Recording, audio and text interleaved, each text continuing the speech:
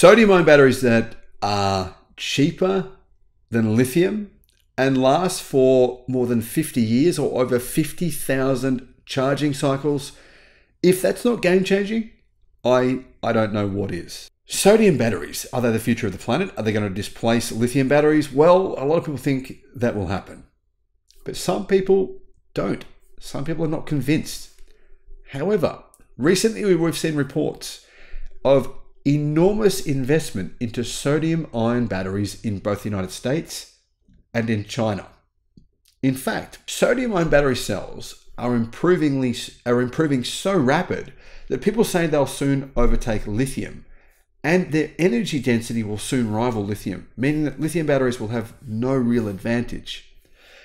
There is some other advantages to sodium batteries, particularly for energy storage.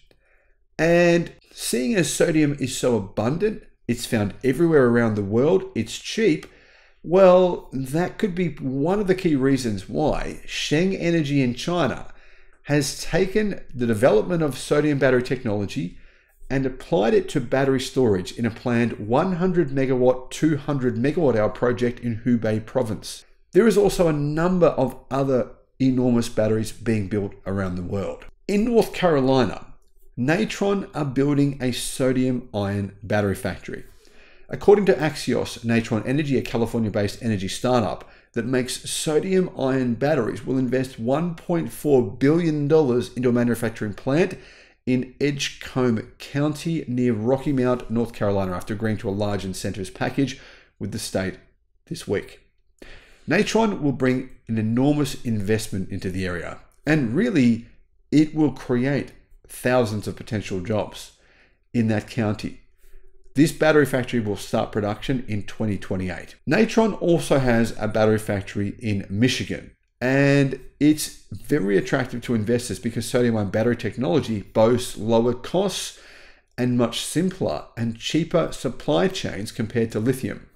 The company's customers include large industrial users like data centers, oil drillers, and the North Carolina plant will be massively larger, or much bigger, I should say, than its existing Michigan factory, producing 24 gigawatts of sodium ion batteries annually compared to 600 megawatts in Michigan.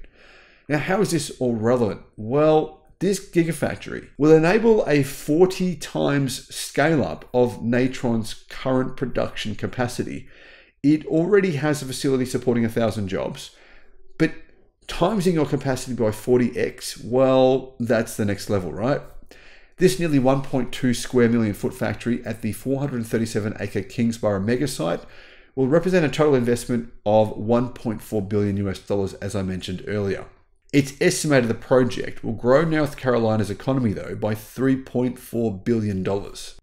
So, where are they going to be using these batteries in, in uh, the United States? Well, Natron's batteries are currently the only UL listed sodium ion batteries on the market in America.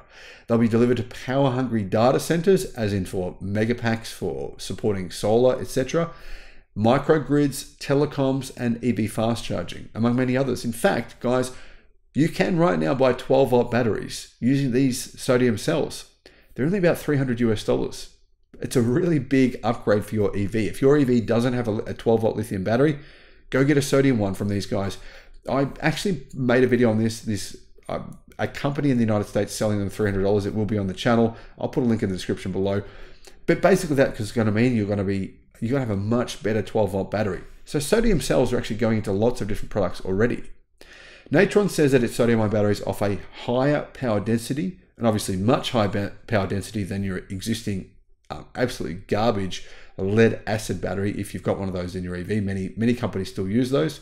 They offer more cycles and a domestic US supply chain, plus have unique safety characteristics over other battery technologies. One of the big advantages as well to sodium batteries is they're not really affected by the heat or the cold as much as lithium batteries are. So, in cold places, sodium batteries could potentially be a better solution for electric cars and also definitely a better solution for energy storage. The company says its patented Prussian blue electrodes store and transfer sodium ions faster and with lower internal resistance than any other commercial battery on the market today. Its battery chemistry presents zero strain during charging and discharge, 10 times faster cycling than traditional lithium ion batteries, and 50,000 cycle life. They in fact say 50,000 plus. Obviously, their batteries don't need any lithium, they don't need cobalt, they don't need nickel, they don't need aluminium, they don't need anything else.